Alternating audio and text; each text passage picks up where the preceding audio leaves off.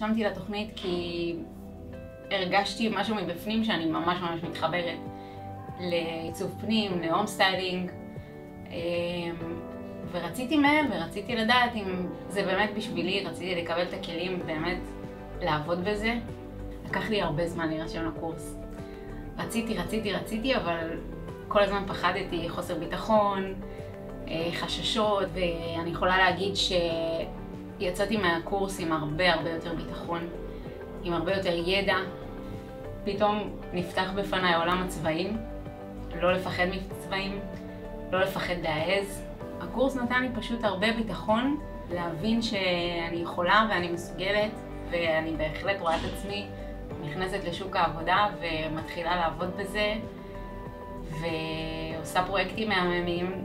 אני פשוט ממליצה לכל אחד שחושבת או חושב אם זה המקום בשבילו, אם זה נכון, אם יש בך משהו בבטן שאומר לך, אני רוצה את זה, פשוט תלך על זה.